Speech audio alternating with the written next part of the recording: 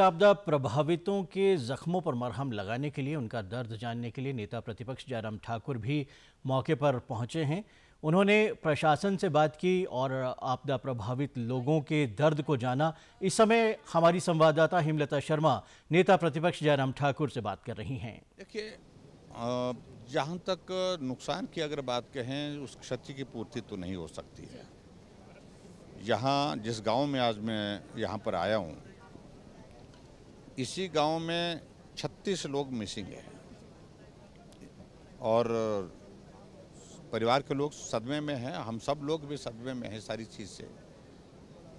और कैसे अपनी भावनाओं को व्यक्त करें, ये कहना बहुत कठिन है, लेकिन भावुक क्षण है ये, जहाँ परिवार ने अपने सारे सदस्य खोए हैं, कुछ परिवार के आधे अधूरे, कुछ लोग जो है वो बचे हैं, कुछ बचे हैं, कुछ घायल अवस्था में भी है। ऐसे में निश्चित रूप से ये चिंता का विषय है और जहाँ समेज इस गाँव में हम देख रहे हैं कि जहाँ चार चार मंजिला घर थे लोगों के बने हुए, आज वहाँ पर एक तिनका नहीं है, देखने को नहीं है। चारों चारों तरफ़ मलबा गिरा है और उस मलबे में जिंदगियाँ तलाश रहे हैं। तो ये सबसे बड़ा पीड़ा का विषय है। सर इस वक्त केंद्र बिल्कुल हिमाचल के साथ कंधे से कंधा मिलाकर खड़ा नज़र आया है।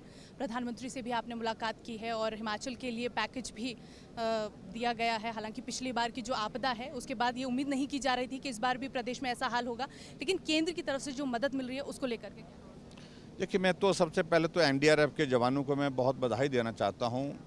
पुलिस के जवानों को बधाई देना चाहता हूँ। हमारे गाँव के लोग रेस्क्यू ऑपरेशन में बहुत जल्दी जुट गए थे, जीवन को संकट में डाल करके जुट गए थे और जो बेस्ट पॉसिबल जो किया जा सकता था करने की कोशिश की जा रही है। प्रधानमंत्री जी से मिलना हुआ। सबसे पहले यही उनने पूछा कि हिमाचल का हाल क्या है? इस बारिश के कारण जो नुकसान हुआ है, कहाँ नुकसान हुआ है, कितना नुकसान हुआ है, ये सारी जानकारी मैंने दी। पचपन से ज़्यादा लोगों की ज़िंदगियाँ जो है वो जिनकी लोग तलाश कर रहे हैं। और जिसमें छः लोगों की जो है वो डेड बॉडी रिकवर हो हो चुकी है।